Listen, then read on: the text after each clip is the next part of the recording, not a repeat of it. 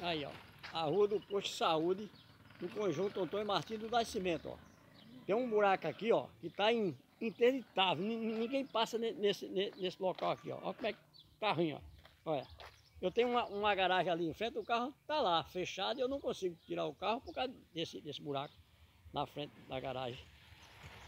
Então, eu faço um apelo ao fiscal da infraestrutura da nossa cidade para ele vir fechar esse buraco, pelo menos de terra botar pelo menos terra no, no, no buraco, é para a gente poder passar.